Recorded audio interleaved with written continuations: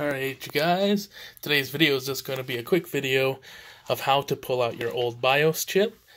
Uh, this one is in hopes that repairing the BIOS will fix this Asus Z9 PED8WS workstation board.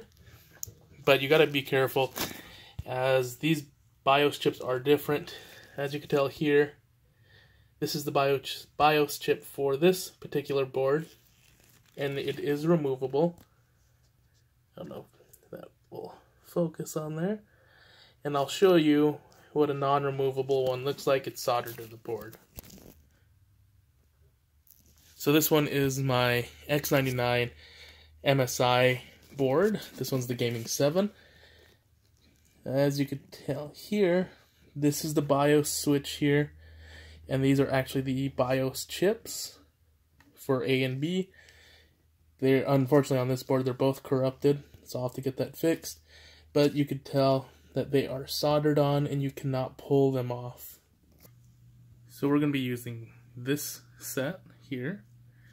So basically, when you pull this out, obviously you want to make sure the motherboard is completely turned off. Mine is unplugged.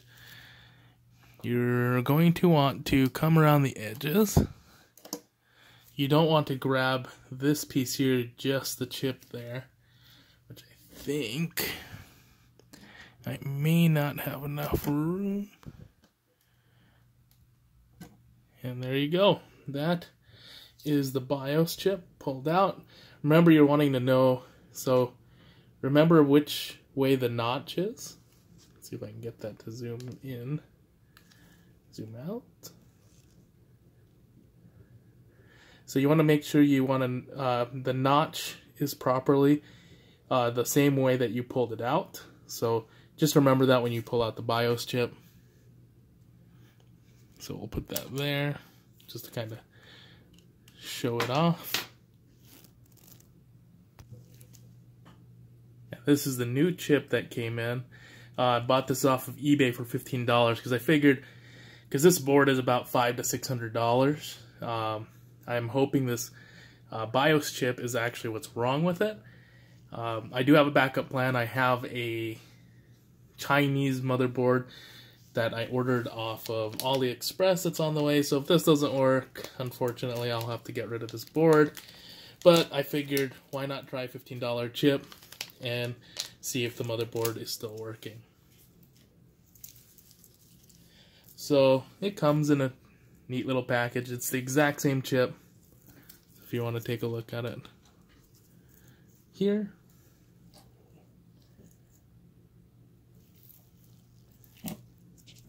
So basically you're just going to want to pull it out. Make sure the notch is facing the exact same way you pulled it out.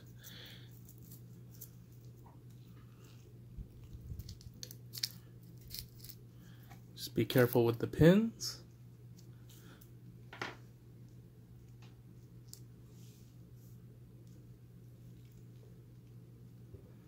Sorry, the shot may not be perfect here, but just want to... So see how the pins are bent outward? Sometimes you'll want to roll it into it.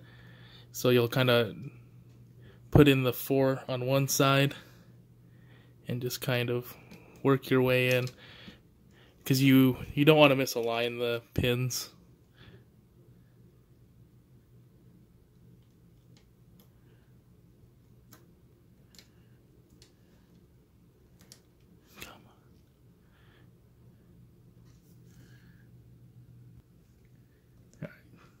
So it's it's fairly in there, and you just kind of want to work work the pins down. You don't want to force it too fast, just in case you got one misaligned. You don't want to bend it.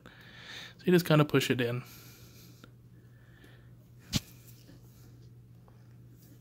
And there you go. And that is how to replace a BIOS chip that on a board that is made for you to be able to replace it. So there you go. We'll see if this works, and uh, we would have saved a $600 motherboard. And there you go. Postcode 19. It was showing 00, so that means the board is starting to boot up. That's a lot better than it was. So unfortunately, I don't got footage of this because I hit stop because it wouldn't get past postcode 19.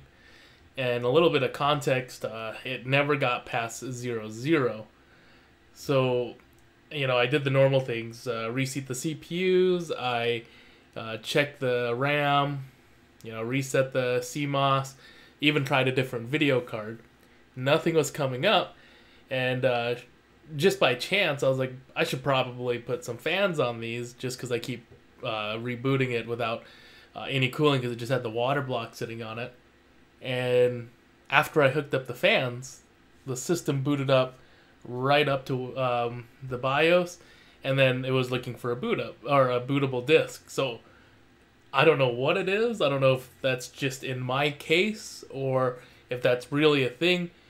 But after testing it, I took off the fans, and sure enough, it didn't boot again. So I put the fans back on, and that was the fix after the BIOS was already replaced. Because before then, it just wouldn't go anywhere. So that was the end of the video. I hope you guys enjoyed it.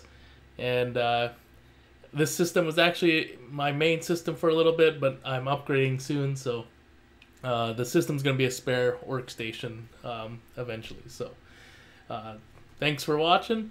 Hope you guys enjoyed, and I'll catch you guys in the next one.